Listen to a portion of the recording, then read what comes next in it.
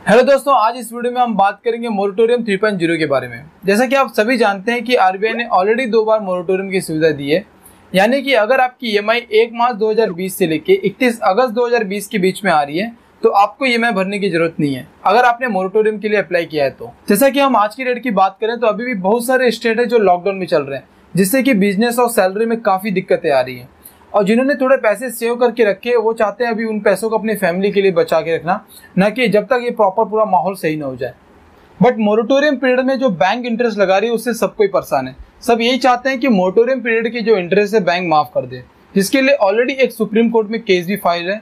मैं भी यही चाहता हूँ कि मोटोरियम पीरियड के जो इंटरेस्ट है बैंक माफ़ कर देनी चाहिए। लेकिन जितना मुझे लगता है कि वो मोटोरियम पीरियड के इंटरेस्ट माफ़ नहीं होंगे, क्योंकि आरबीआई ने अपने स्टेटमेंट में कहा है कि अगर बैंक अपने मोरिटोरियम पीरियड के जो इंटरेस्ट है वो माफ़ कर देगी तो जिससे बैंकों को काफ़ी लॉस होगा। तो इसके रिलेटेड भी मैंने एक वीडियो बना के रखी है कैसे आप मोरिटोरियम पीरियड में जो लगने वाले इंटरेस्ट है आप उससे बच सकते हो। इस वीडियो का लिंक नीचे आपको डिस्क्रिप्शन में और आई बटन में दे दूँगा तो आप इस वीडियो को वहाँ से भी देख सकते हो। तो चलिए अब हम बात करते हैं मोरिटोरियम 3.0 के बारे में, ये कैसे एक्सटेंड हो सकता है और आप इसका कैसे फ़ायदा उठा सकते हो। वीडियो स्टार्ट करने से पहले अगर आप इस चैनल पर नए हो तो प्लीज़ लाइक सब्सक्राइब करना, साथ ही साथ बेल आइकन को प्रेस करना मत भूलना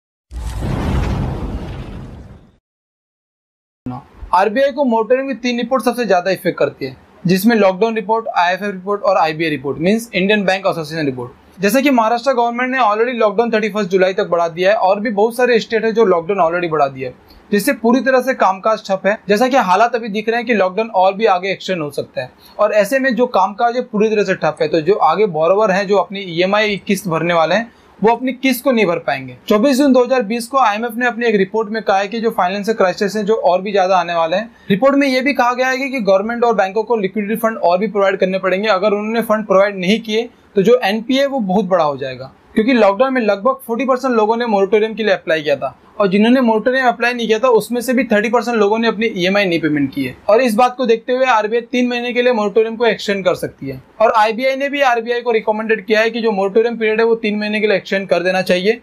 तो नाइन्टी परसेंट चांसेस है कि जो मोरिटोरियम पीरियड है, वो तीन महीने के लिए एक्सटेंड होगा। आप भी कमेंट बॉक्स में ज़रूर बताइए मोरिटोरियम तीन महीने के लिए एक्सटेंड होना चाहिए कि नहीं होना चाहिए। मोरिटोरियम अप्लाई करते वक्त ये चीज़ का काफ़ी ध्यान रखिए कि अगर कोई भी बैंक से आप मोरिटोरियम अप्लाई कर रहे हैं तो पंद्रह दिन में उसका स्टेटस चेक कर लीजिए, क्योंकि कभी कभी बैंक कभी डिले कर देती है, जिससे वो मोटोरियम आपका रिजेक्ट हो जाता है। उम्मीद करता हूँ आपको मेरी वीडियो पसंद आएगी। वीडियो पसंद आए तो प्लीज़ लाइक सब्सक्राइब करना, साथ साथ बेल आइकन को प्रेस करना मत भूलना, क्योंकि बैंकिंग से रिलेटेड आपको ऐसी वीडियो इस चैनल पे मिलती रहेंगी। Thank you